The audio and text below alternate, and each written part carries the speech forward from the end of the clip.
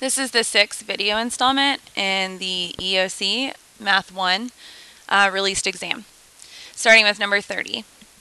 A college surveyed 3,500 of its students to determine if the students preferred music, movies, or sports. The results of the survey are shown in the relative frequency table below. How many more seniors than juniors were included in the survey? Okay, so this table, if you notice, most frequency tables have a total column. This frequency table does not have a total column.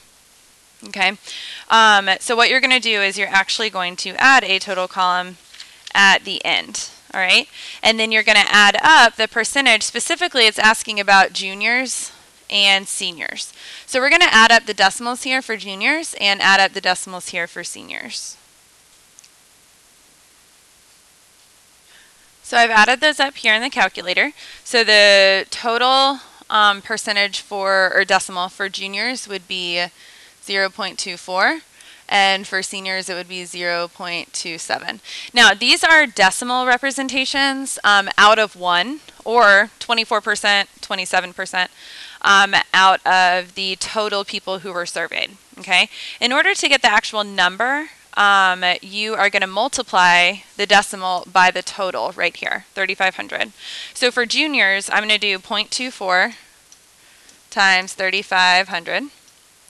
And that'll give me the number of juniors. Okay, so juniors were 840. For the seniors, I'm going to do 0.27 times 3,500. And that will give me the number of seniors. So that's 945. The question is how many more seniors than juniors? Okay, so you're going to do the seniors minus the juniors. Okay, and that will give you 105. So there were 105 more seniors than juniors.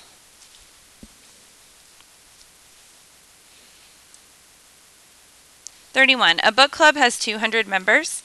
Each member was asked whether he or she prefers fiction or nonfiction books. The results are shown here which statement is true? Okay, so if you notice the answers A through D are asking a lot about the total number of people um, and not the decimals or the percentages. So we're actually going to figure out how many people fit into each category. The way that we do that is we take each number right here, each decimal, and we multiply it by the total. Okay, so 0.32 times 200. That would give us the number of people in this category, which is 64. Okay, then we'll do 0.38 times 200, so on and so forth. Okay, I've already gone ahead and done that to save time, so I'm just going to write down the numbers in each of these categories.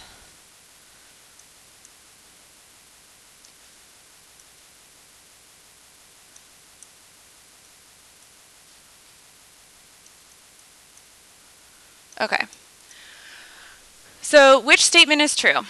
Okay, we're going to go through each one. Six more 31 to 40 year olds than 21 to 30 year olds prefer fiction. Okay, so if we're looking at this at the 31 to 40 year olds, okay, 76 of them prefer fiction. And then the 21 to 30 year olds, 64, per, 64 of them prefer fiction. So is that six more? Okay, no, it's not six more. So it's not going to be A. B, 38 members are 31 to 40 and prefer fiction. So if I go to 31 to 40 prefer fiction, I actually have 76. That's not 38. C, 43 members are 21 to 30 years old. Okay, if you look at 23 or 21 to 30 years old and you go to the total number, that's 84 pe or 86 people. That's not 43.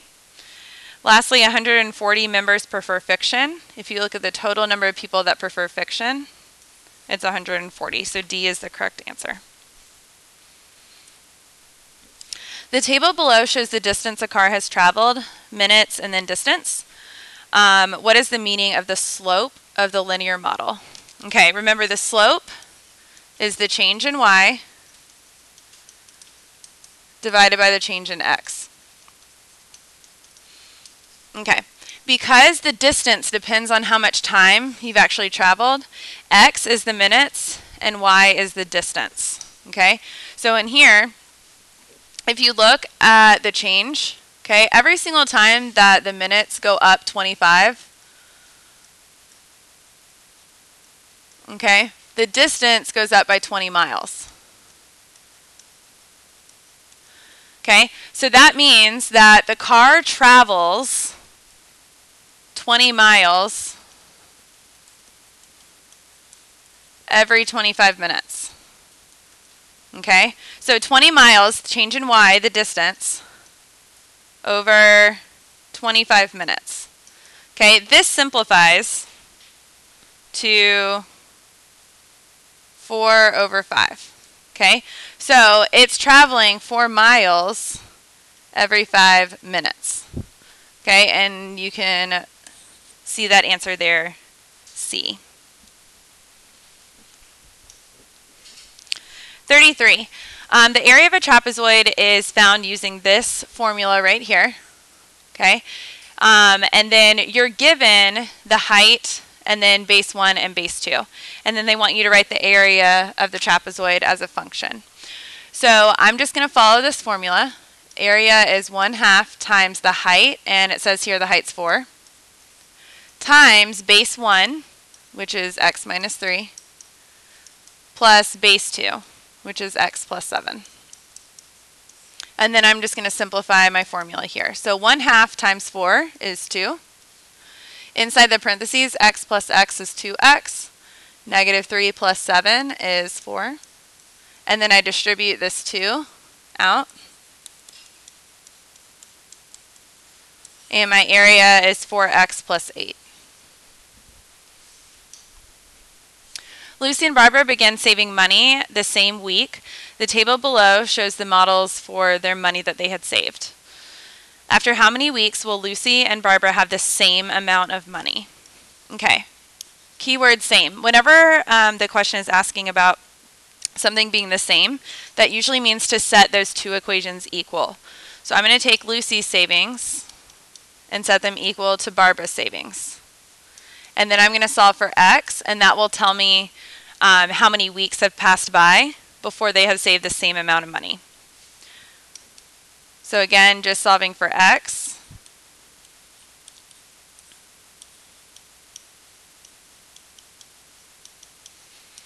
Okay, I'm going to move 5 over there.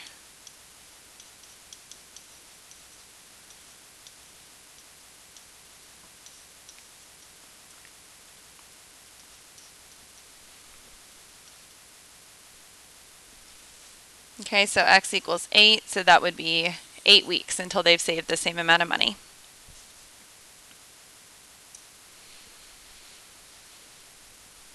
Number 37, Colin noted that various combinations of nickels and dimes could add up to 65 cents.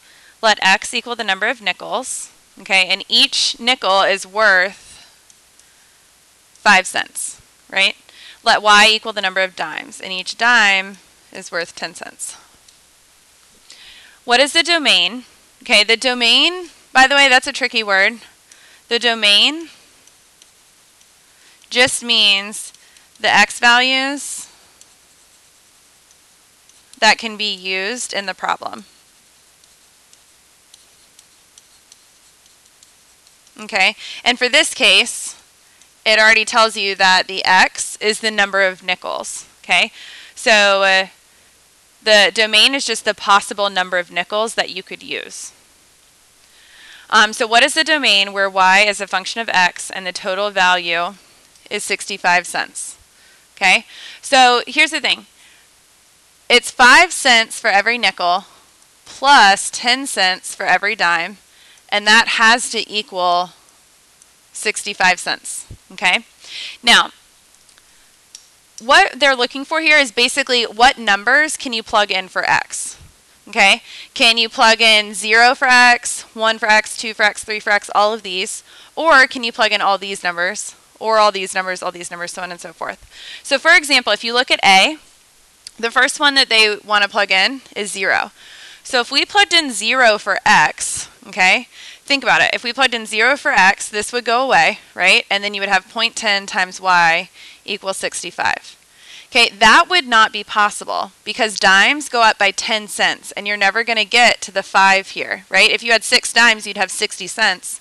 If you had 7 dimes, you'd have 70 cents. There's no way to get to 65. Okay, so 0 is not an option for X. So we can mark off A and we can mark off C. Okay? Now, if you notice for B, it has 1, 2, 3, all the way up to 13. For D, it has 1, 3, 5, 7, 9. It only has odd numbers. Okay? Now, let's think about that. If we plugged in a 1 for X, I'm just going to make a little table over here. If we plugged in 1 for X, okay, that means we have one nickel. Okay? We would have to have 6 dimes in order to have 65 cents. If we plugged in 2 for X, or we had 2 nickels, then we would have 10 cents. And then there's no way that we would end up with a 5 right here for that 5 extra cents. So any of our even numbers, okay, if we have an even number of nickels, we're never going to end up with 65 cents.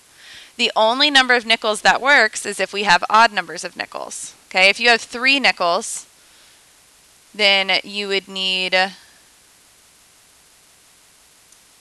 five dimes. Okay, if you had five nickels, you would need four dimes, and so on and so forth. But you could only have odd number of nickels. So then that makes D the correct answer. The value of an antique car is modeled by the function stated there, where x is the number of years since 2005. By what approximate percent rate is the value of the car increasing per year?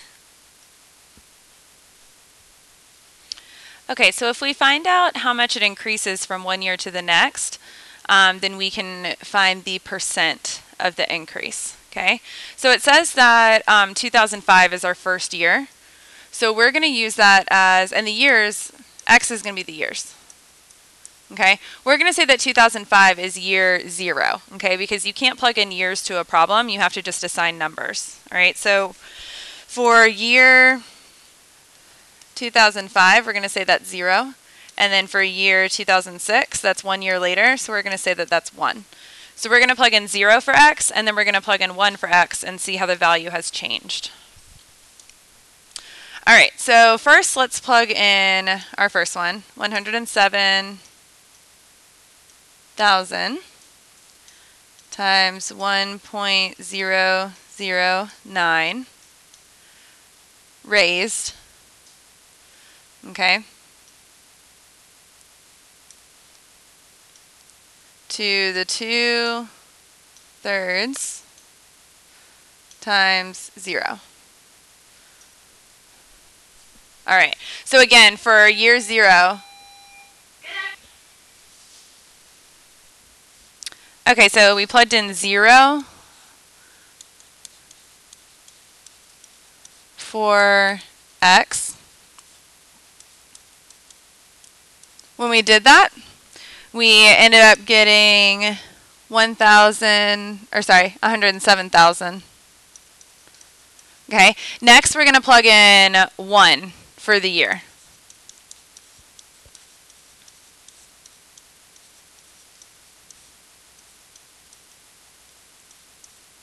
Okay, let's see what that gives us.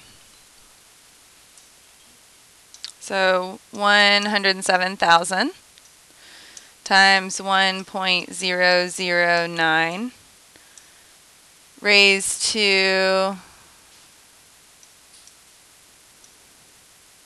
the 2 thirds times 1. Okay, and that gave us 107,641.04. Okay, now we're looking for the percent that it's increasing per year. Okay, so we are going to take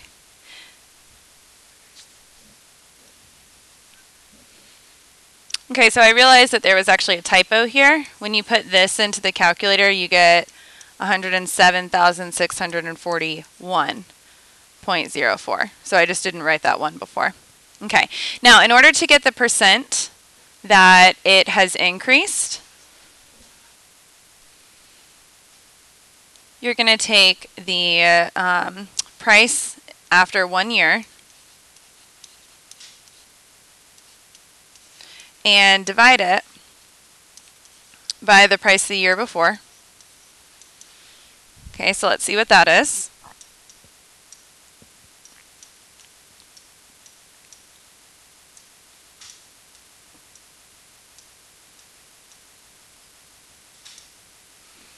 Okay, and it gives us 1.00599. Okay, now this right here is a decimal. In order to change it into a percent, we move that decimal point two spaces over.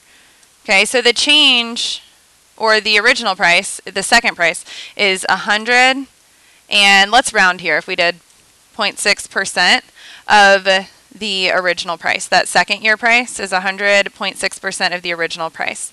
That means that the increase was right here at 0.6%. That's the increase, um, or the percent increase of the value each year that goes by.